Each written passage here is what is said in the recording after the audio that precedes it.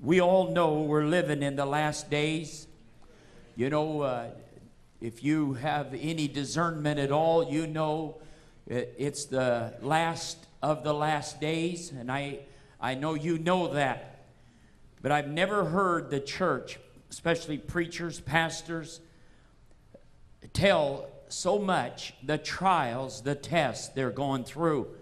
How many people have said this last year or the last couple of years have been the most difficult time of their entire life and ministry?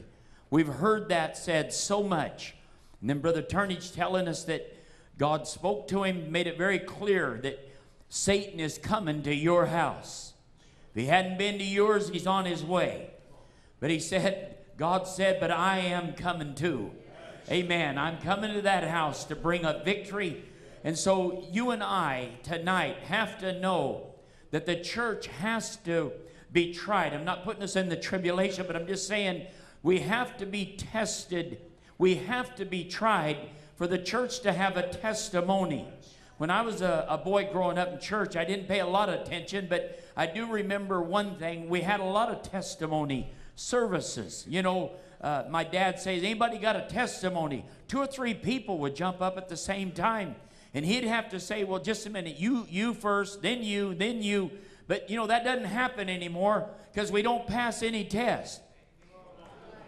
Tests are for a testimony. And those people used to jump up and say, God gave me a job. God blessed me. God paid my rent. God healed me of, of a tumor. God did this. God did that. They testimony services.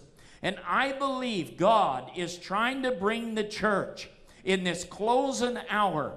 You know, the writer of Hebrews said for us to come together more so as we see the day approaching. If ever we need each other, it's now. And this is the time the enemy would love to divide us because he knows the strength in the unity.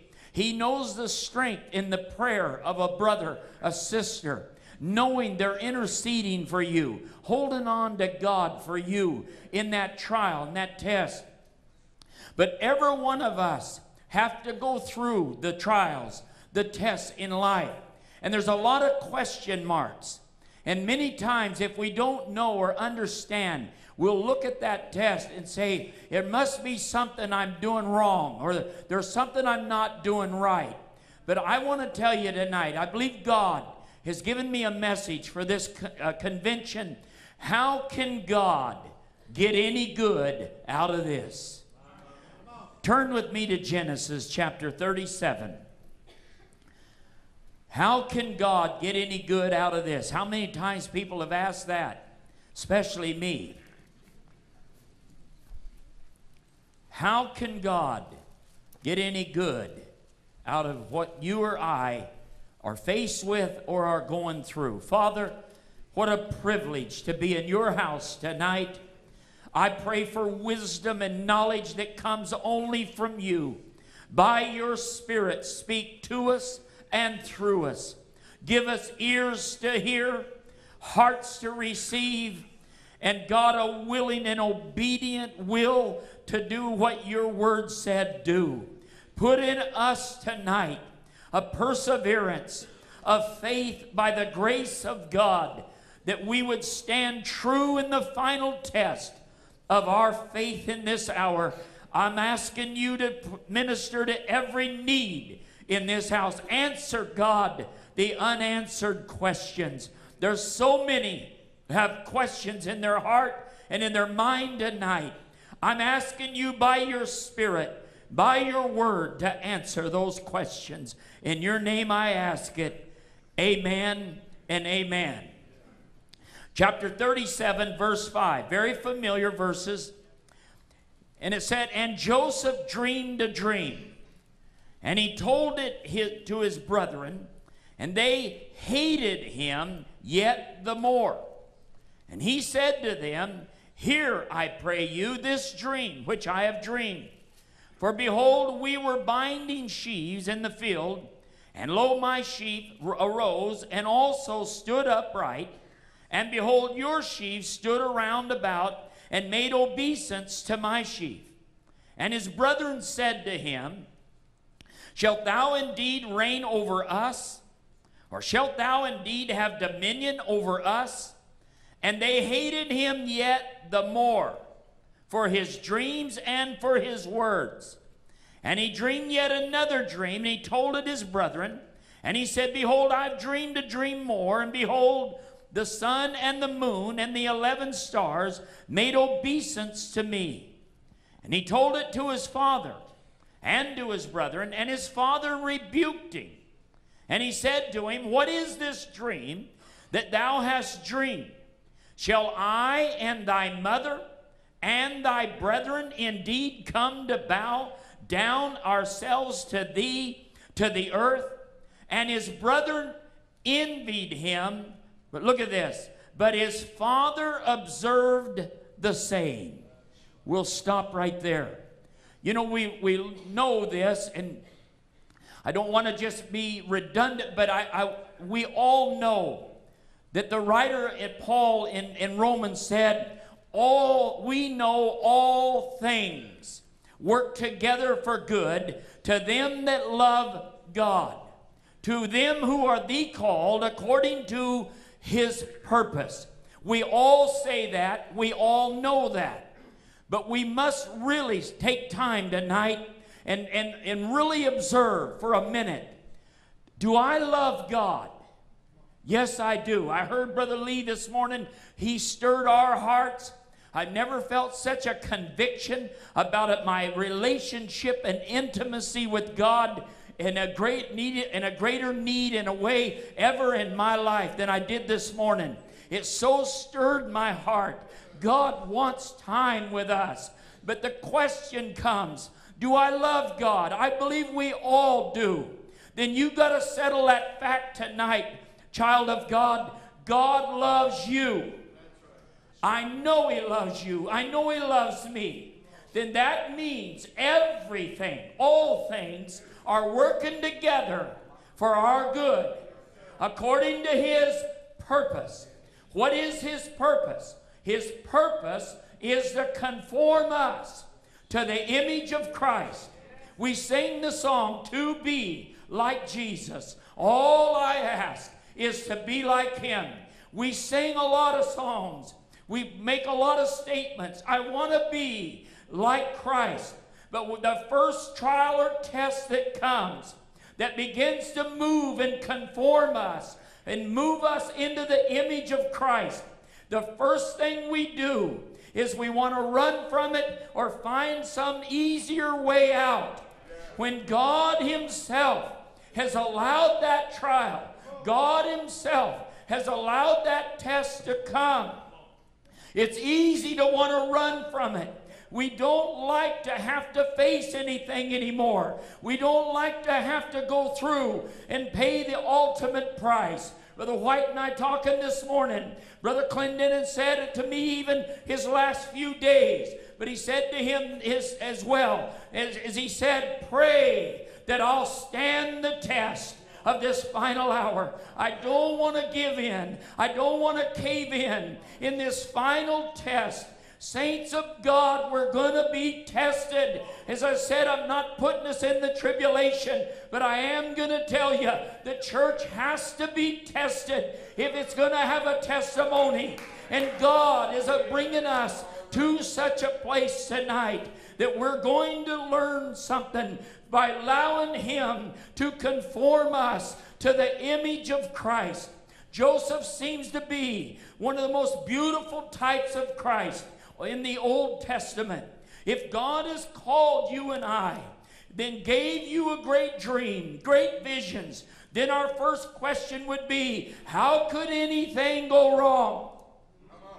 I pleaded the blood over my wife and I night after night, week after week, year after year.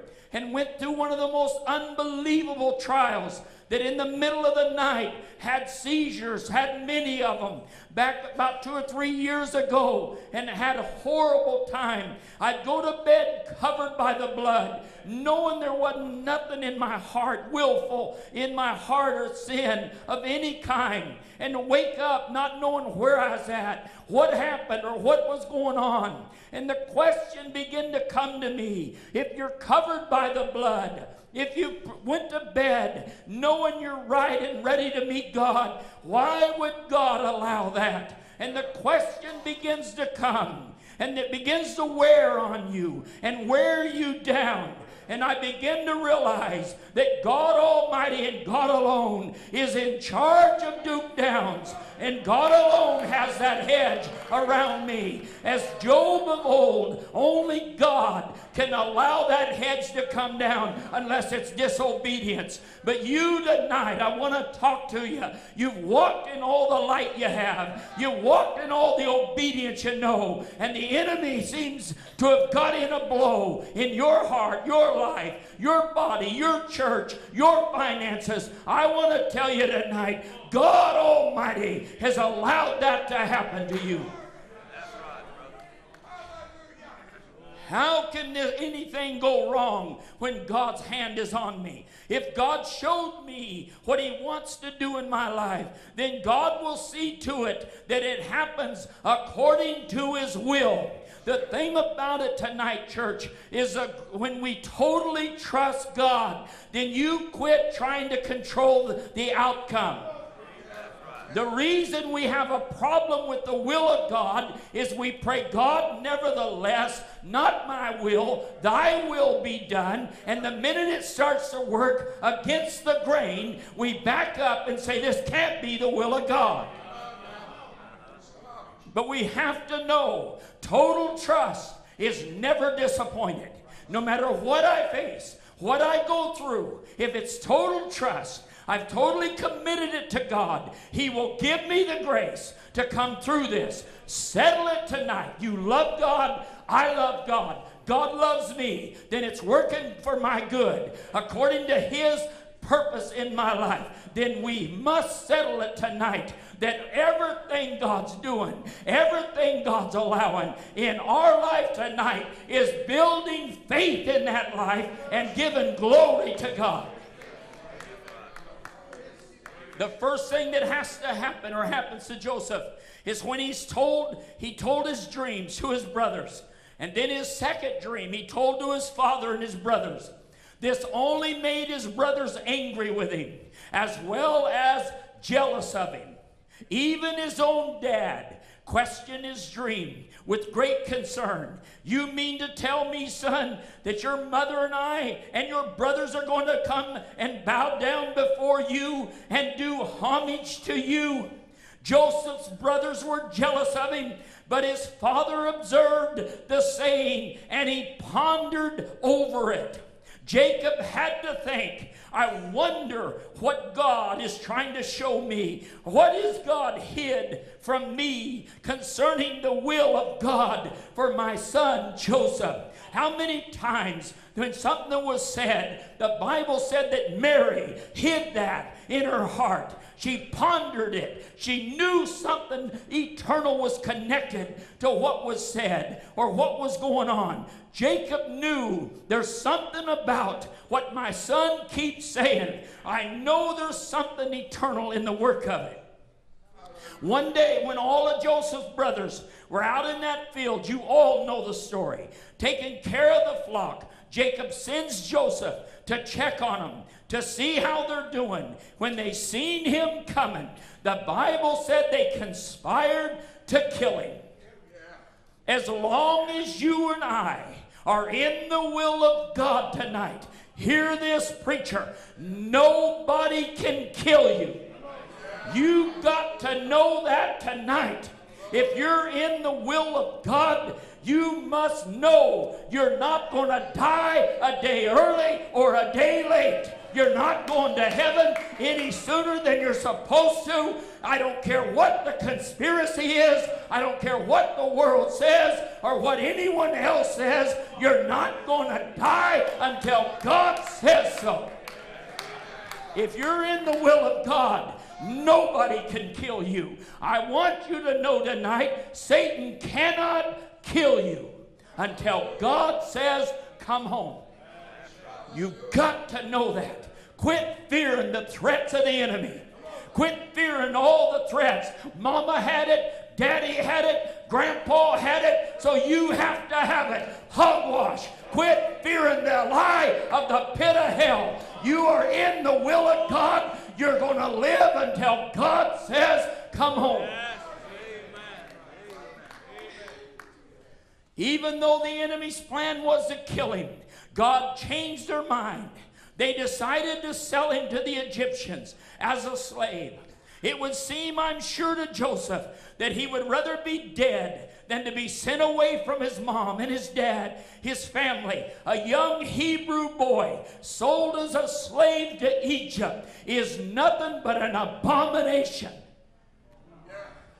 But God gave Joseph favor with Potiphar and put him in charge of everything he had. How can God get any good out of this? He's nothing but an innocent son of Jacob. And now he's being sold as a slave to Egypt. That's an abomination to a Hebrew boy. When you have a thus saith the Lord in your life, in your spirit, you and I can know that I'm in the will of God, even if I'm in the enemy's camp. Hear me, child of God. What God told you in an old fashioned altar, whether it was a week ago, a year ago, 10 years ago, hold on to that. That's been buried in your, thus saith the Lord, in your spirit. All the false prophets and false prophetesses can come and go. Yet the thus saith the Lord that's in your spirit, let it live on.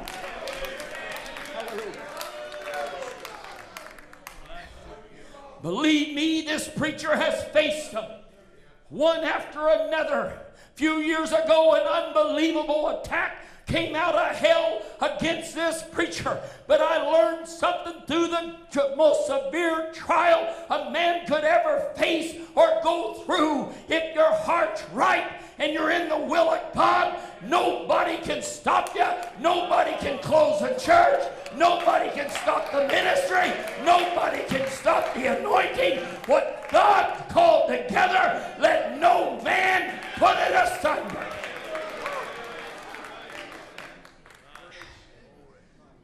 I'm not talking about arrogance or sticking your head in the cloud.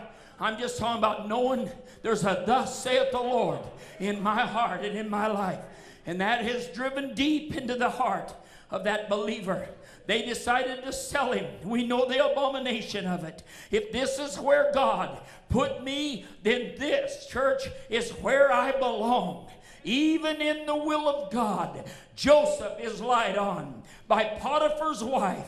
I want to tell you tonight I don't care who you are, if God's going to use you like He wants to use you, you will be lied on. How dare somebody lie about me? They're going to.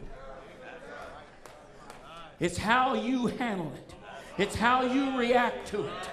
I learned a long time ago you don't have to defend yourself if you're right. Let God defend you. Vengeance is mine, I'll repay. You don't have to vindicate or avenge. Just make sure your heart's right with God. Let them lie and lie and lie. If it's true, repent. If it's not, keep your head up and keep right on going.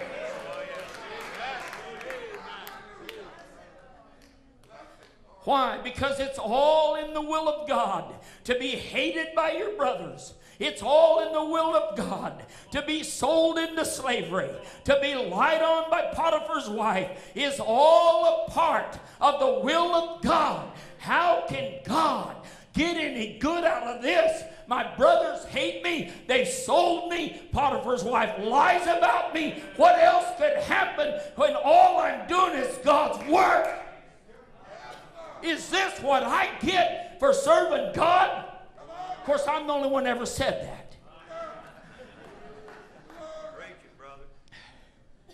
Now Joseph goes to prison for it. But the Lord is with Joseph and shows him mercy and gave him favor, even with the warden. Why? Because God's will for Joseph is being done, even though he's in a prison for something he didn't do. But God made him to prosper, even in the prison. Wow. How much of the trust the test. Have we lost the effect of it? The faith of it, the glory to God of it, because we whined and cried, complained, and took a microwave out instead of letting the perseverance of our faith have its perfect work, that we might be perfect and entire, wanting nothing, but we run from the trial. When God says, Satan, have you considered my servant? Have you considered my daughter? I have, but they'll, if you'll let me get to them, they'll curse you to your face. Have your best day, Satan, because when you get done, their faith will grow. I'll be glorified. Hallelujah. I'm not preaching a guesswork thing. I'm not talking about mamby-pamby gospel. I'm talking about facing it yourself in the face of hell, knowing that God Almighty has put me here.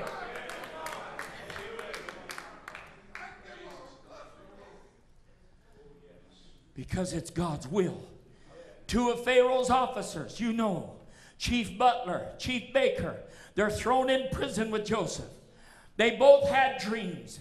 They didn't know what they meant. Joseph said, Don't the interpretations belong to God? God gave them gave him the interpretations. He told the butler, when you get out of here and you get restored to your position with the king, don't forget about me. I'm in here for no fault of my own. So when you get there, don't forget about me. Get me out of here. What's this? But after God used Joseph to interpret the butler's dream. The butler forgot all about Joseph. How could God use Joseph and then let him be forgotten for two more years? Can I tell you tonight why? Because he's still in the will of God.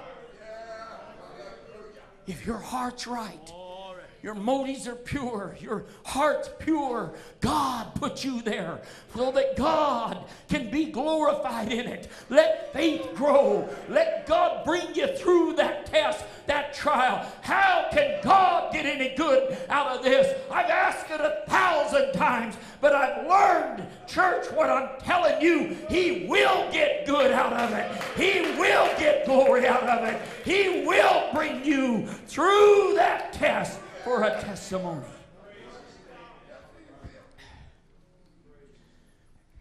Now Pharaoh has a dream. He has another dream. Calls in the magicians, all the wise men of Egypt. Not one of them could interpret his dreams. Then the chief butler says, My God, I forgot about Joseph.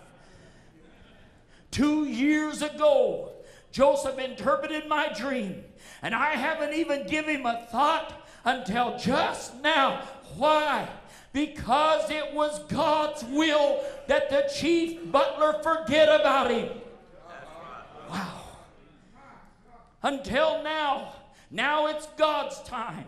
Nothing has been wasted, child of God. All of what God, of what's happened to Joseph was preparing him for this very moment. Let me tell you tonight, everything that's happened to you and I is preparing us for this final hour. They're going to come to our door and say, Do you have an answer? And that we'll look back and say, Oh God, I failed that test if I'd have stood that test, I could have told them He's a God of deliverance. He's a God of miracles. He's a God that'll bring you through.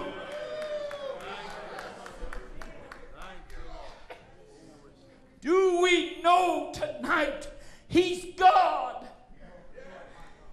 The same God that blew back the Red Sea, the same God that fed the multitude with a boy's lunch is the God in this convention. He's the God we sung about, the God we preach about, the God we worship, the God we know is the same God tonight. He's the same God. Hallelujah! Hallelujah! I told my wife last night when we laid down, I said, if we'll brag on him, he'll show up. If we'll trust him, he'll be there. He loves to be trusted.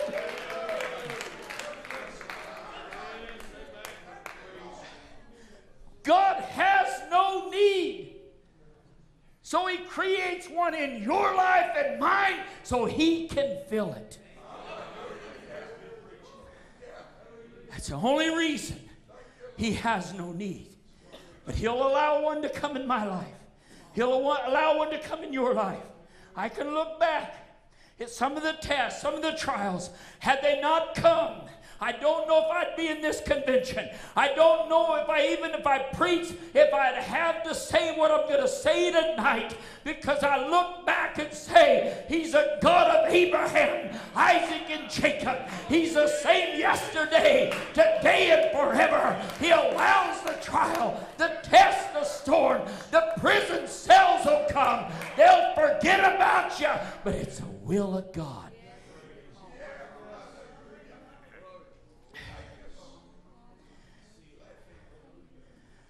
Joseph, your dreams were for such a time as this. Because it was God's will to forget the chief butler, to forget him until now. Now it's God's time. Nothing's been wasted. Joseph, your brother's jealousy, their hatred towards you was for such a time as this. It builds character. Hallelujah. That's what God allows that for, is to build character.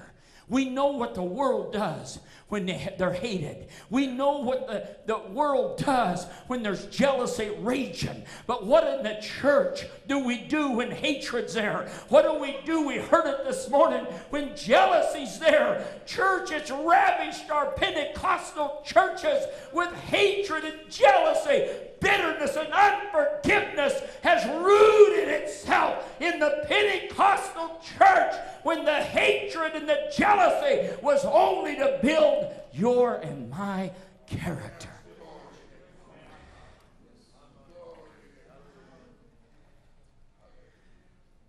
Joseph, you're being sold as a slave to a foreign country as a young boy to be so homesick without your mother or your dad.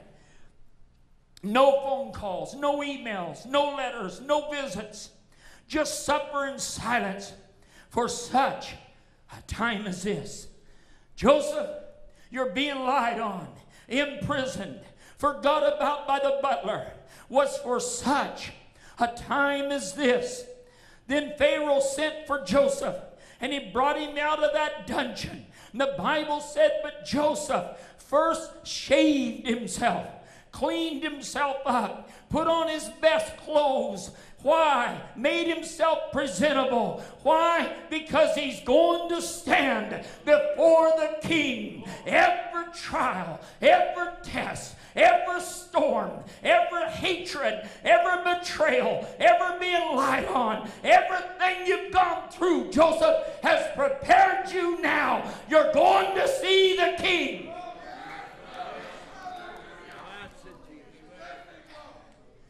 13 years, Joseph went through such terrible pain, such painful trials.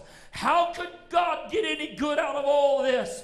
He had to go through it. Why? He's now going to see the king. staying faithful child of God, knowing God spoke to him in a dream. He's got a thus saith the Lord. Oh, hold on to that. What was it, 30 years ago? I just come back to church and got right with God. And we went to a church. Some preacher never seen him, never met him. I haven't told nobody. I just come home, my home's restored. I got right with God. We go to church. And a man got up to preach. He preached halfway through a message, he stopped. He said, You back there in that striped shirt. That was me. I'm thinking, where do you guys want a door? Because I'm getting out of here. Because he's going to air out every part of my dirty laundry. I've never had this happen in my life.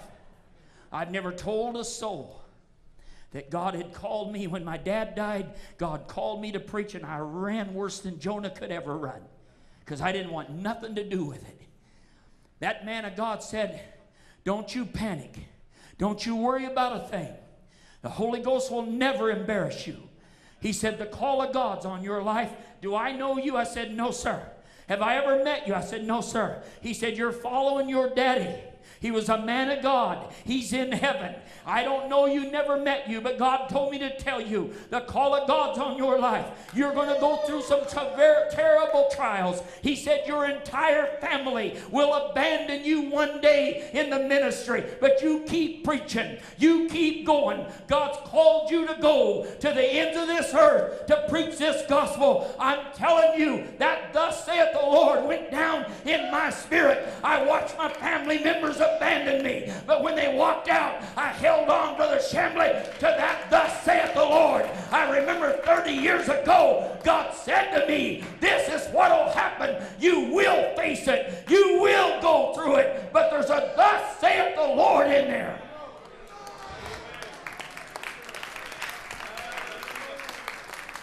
And I learned from my great mentor, Brother Clendennen.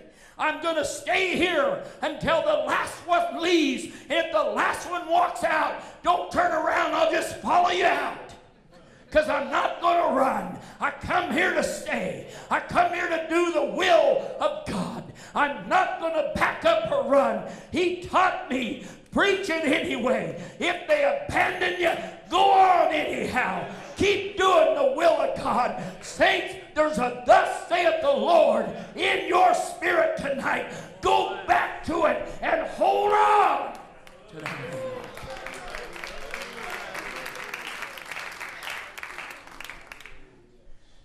Don't give in to it.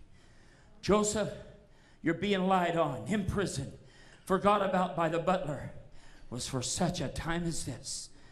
Staying faithful to God, knowing God spoke to him in a dream.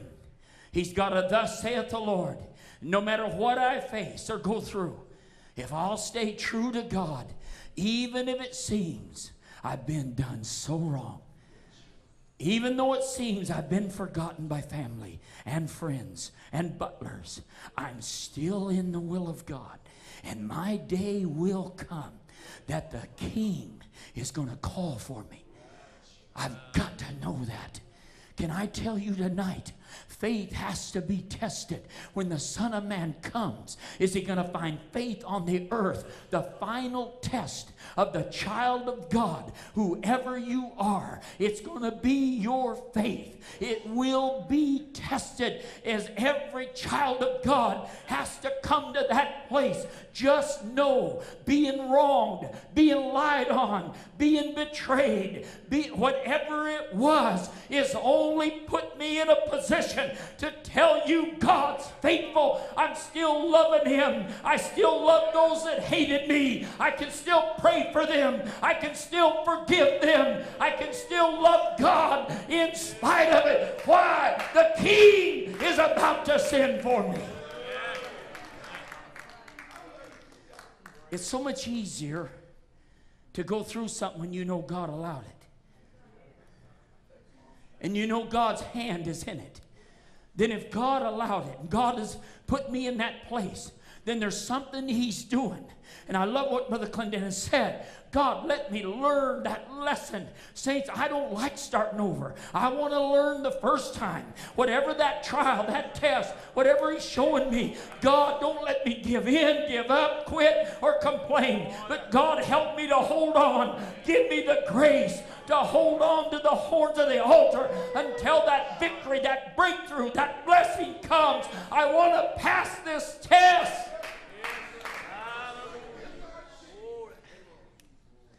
Thought of Stephen. Stephen, a man of God, doing nothing but living in obedience to Christ. And the religious people of his day paid people to lie against Stephen. How can God get any good out of this? A man doing nothing wrong, healing the sick, casting out devils, feeding the poor, loving and giving to the body of Christ. Now he stands accused falsely of something he didn't even do. I'm sure it hadn't happened to none of you. While standing before his accused, Stephen is speaking the truth to them their Bible said they're cut to the heart. They're furious in their reaction to the truth. But Stephen, the Bible said, full of the Holy Ghost. Let me drive a point home tonight, saints. This is the secret to every trial. This is the answer to every test. Stay full of the Holy Ghost. God allows you and I to go through it but then He wants us to stay full of the Holy Ghost. This church is where God will bring you and I to and give us the grace. You must ask for it. Oh God, give me the grace. Give me the faith to come through this. Grace is not just unmerited favor. Grace is God enabling you to do what you cannot do. My grace is sufficient for thee, he said. What's he saying? Ask me for grace for this test, this trial.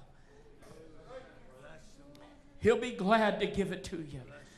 While they're stoning him to death, for preaching the truth. I ask the question why would God allow such a godly man to suffer? Why would God allow such a godly man to die such a horrible death?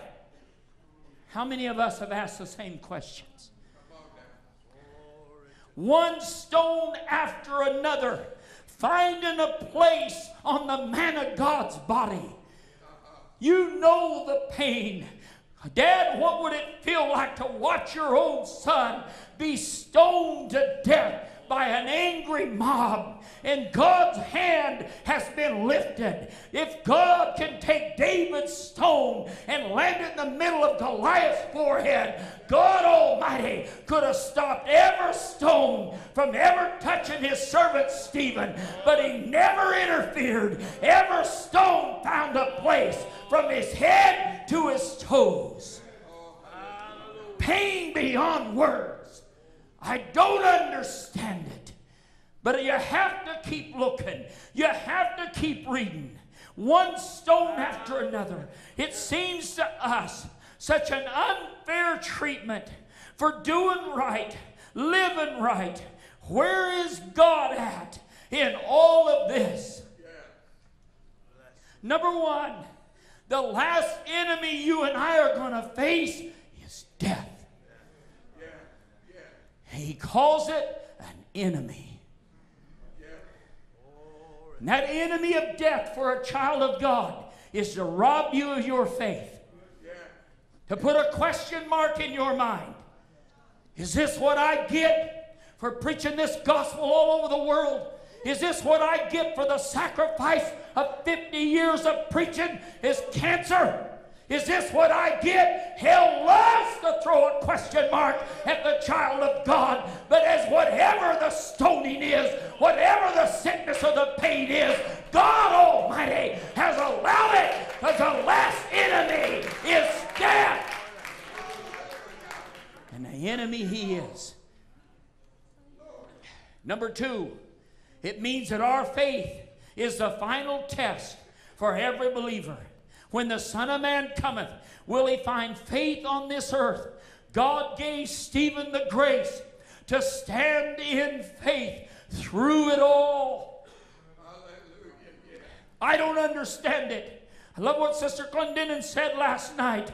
I don't understand everything. I don't have to understand. Why? Because it takes faith to go on. It takes faith to trust. It takes faith to believe on in spite of what your mind tells you, in spite of the situation, the circumstances. Why would God allow this? Why would God allow that trial, that test of your life and mine? I'll tell you why. He's God and He never makes a mistake. Somebody said to me,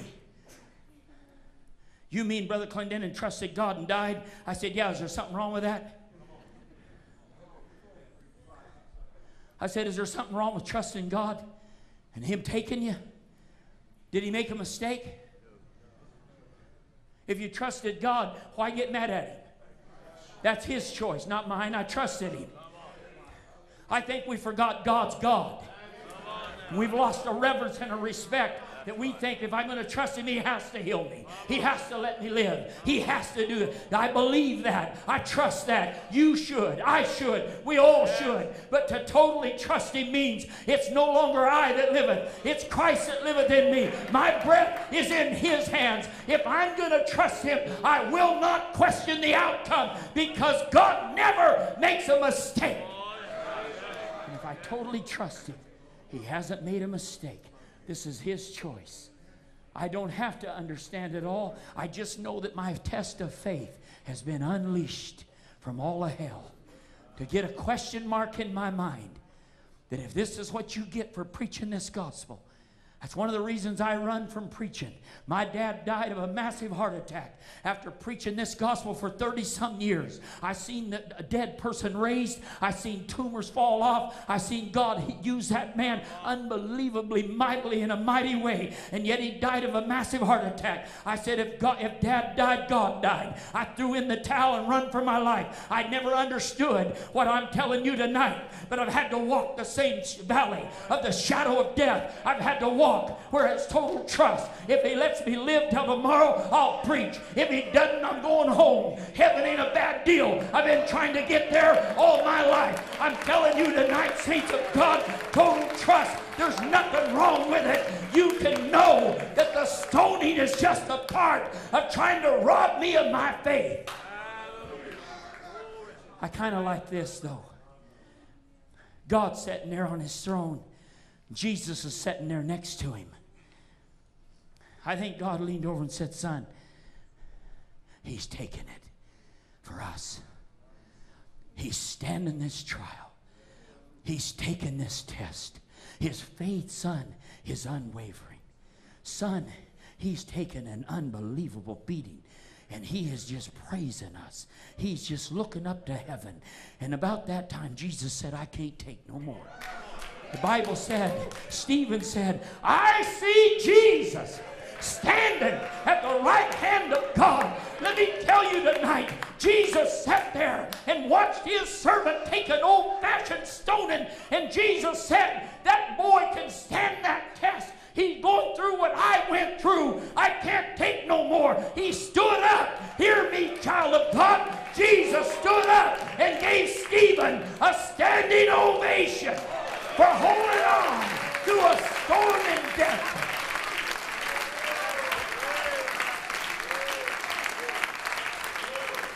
Hold on till you see Jesus standing at the right hand of God the Father. Stephen lets out a loud cry Lord, lay not this sin to their charge. In other words, God, forgive them.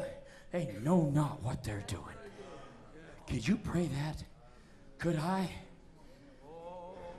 In the back of that room was a murderer named Saul. Saul don't know it, but he's watching the man. He's going to take his place.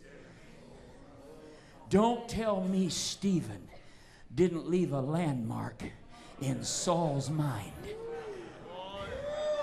He said, I'm telling you something about this boy. Every stone that hit him, God, don't hold this sin to their charge. He's grasping for his last breath. Saul standing in the back of that room going, Man, who is this guy? What is this guy?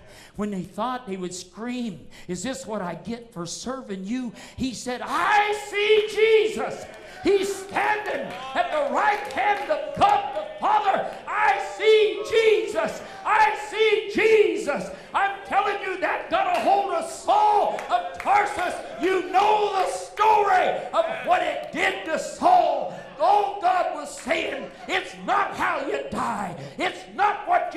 through. Is your faith genuine? Does it hold on to a stoning?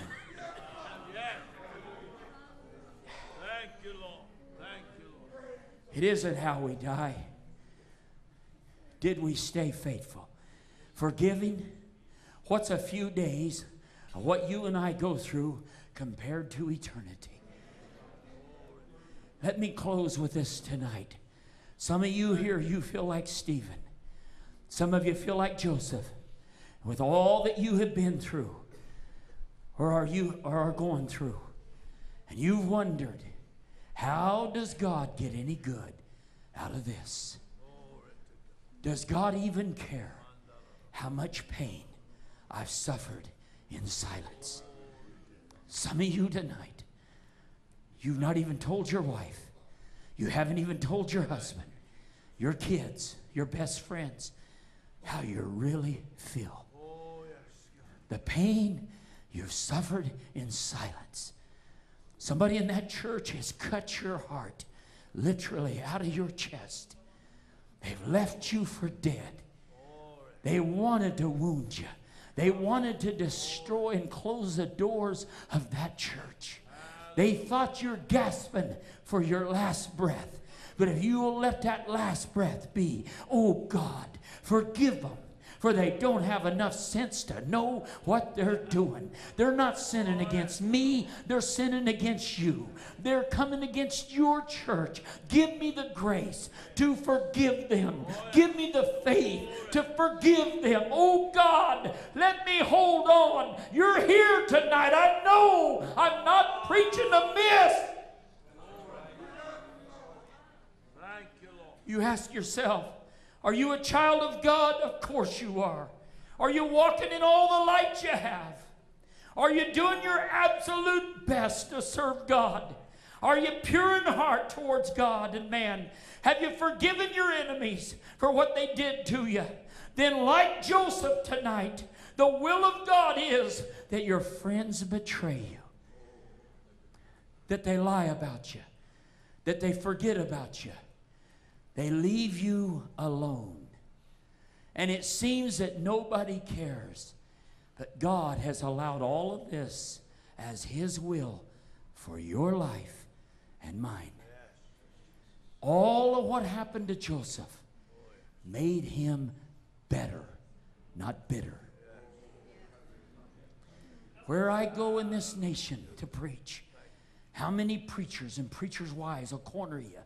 They're so bitter, so angry at somebody that did or said or done.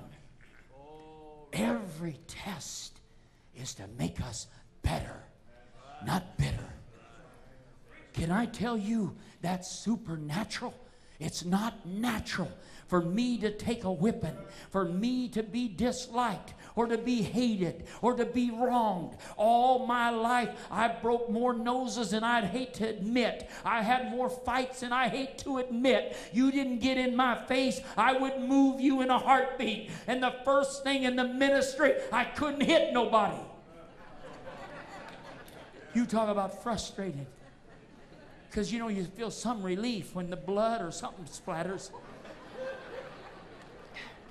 And I go back home and sit down and I think, oh, how weak. What a sissy.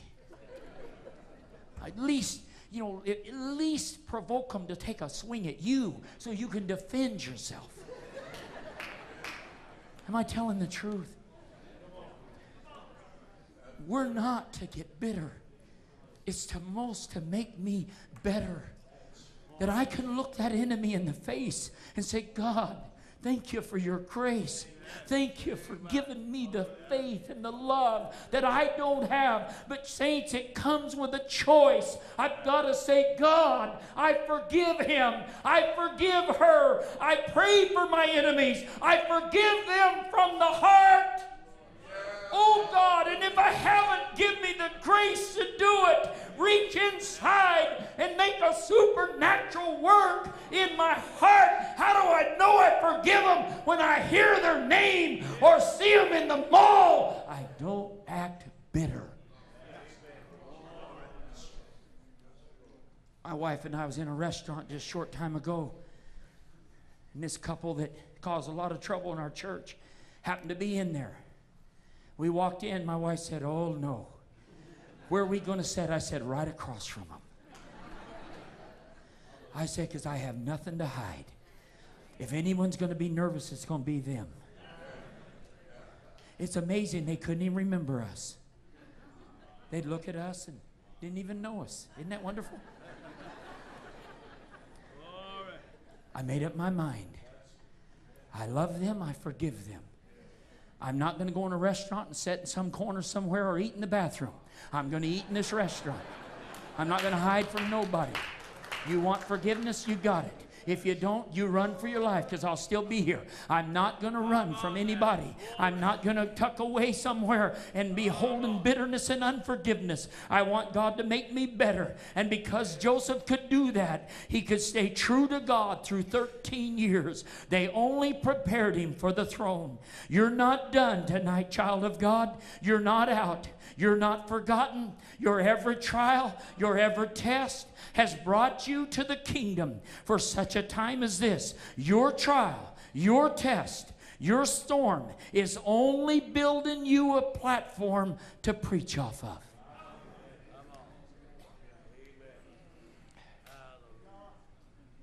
Jesus climbed aboard that boat and he said, Let's go to the other side. What's he do? He goes to sleep. What happened? The storm comes. They begin to scream and cry. Jesus, don't you care that we drown? He said, Why is it you don't have any faith? What's wrong with you? All the faith you need is in this boat with you. God put you in that storm. All the faith you need is with you. He's in that boat. He can sleep through the storm. Why? Because he said, We're going to the other side. And all the faith you need is in this boat with you. Why is that, preacher? Because the storm is just part of going to the other side. It's just part of it. To avoid a trial, a test, is only going to rob you of a real platform to preach off of. I'm not a morbid, hard person. I'm not standing up here saying you need a test. And I hope God smacks you upside the head. That's not what I'm saying. I've been through some very painful trials. I don't like them, and I'm not asking for another one tonight. But I do know one thing, Brother Casey.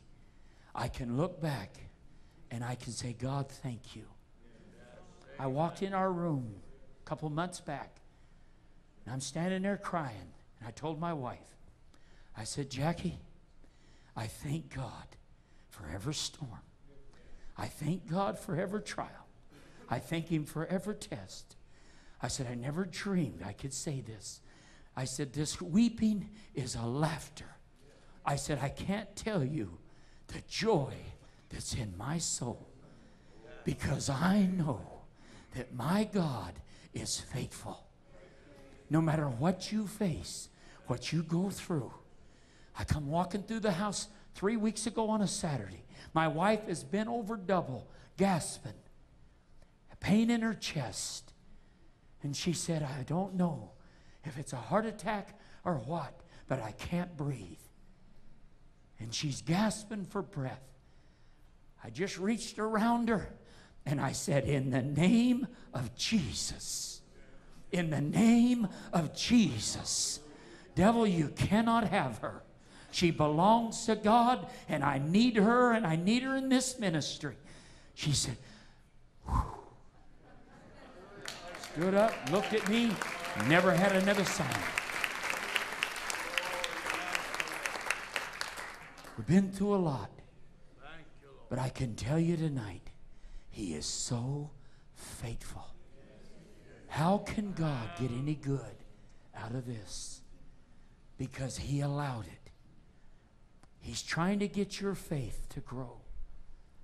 Yes, there's question marks. Why would a man suffer so for doing such a good job preaching and giving and sending and supporting? Why would Stephen have to go through so much? I believe he left me a testimony. I can come through the same trials, that I can see Jesus in the middle of that storm. Bow your heads. Father, I've preached my heart, and I believe yours. We live in a time that from this pulpit to the back door, we've all faced trials, tests, storms, question marks of what we faced, question marks of losing our great mentor, Brother Clendennen. Of course, there's question marks. But God, I thank you tonight that you're so faithful. I thank you tonight that what we don't understand, we can trust. What I thank you tonight that you what you have allowed is for the abandonment, for people to lie, for people to mistreat us, for people to say things about us. Everything you've allowed is only to build character so that my faith would grow, that you would be glorified in the middle of this storm. You, God, have allowed it. And I pray in this house tonight, those that have wondered, those that have almost give up, those that have thrown in the towel, that are saying, God, what's the use? Every time I get going, another trial, another storm, another family quits, and another one comes, and another one quits. God, I can't seem to get a breakthrough. But in this camp meeting, I've learned tonight you have allowed that as a test of my life to build character. And God, through that, you will add to that church. You may subtract, I'll trust you to do it, but I'll let you add what you want to add. In Jesus' name. Would you stand across this congregation?